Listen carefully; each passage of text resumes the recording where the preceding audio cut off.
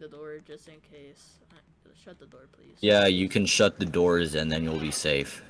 They can't go through doors. I'm trapped in a corner! Ethan! go through doors! They can't go through doors! Yeah, You're Ethan, Ethan. Ethan, come here, come here, come here, come here. We'll be safe, we'll be safe. Come on, come on, come on, come on. Avery, turn around, come in here, come in here. We'll be safe. No, no.